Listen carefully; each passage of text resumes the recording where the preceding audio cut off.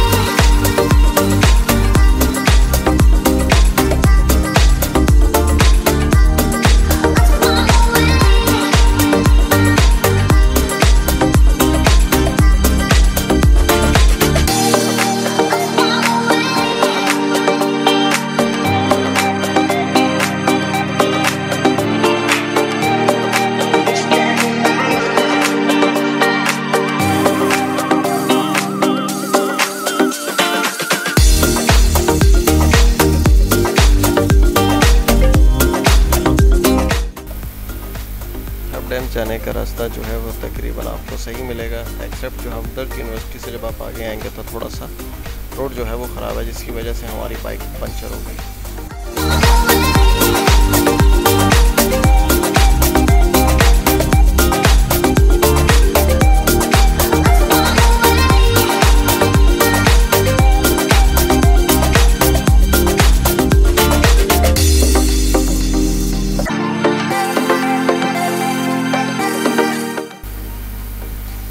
अभी हम पहुँच चुके हैं हब डैम पे।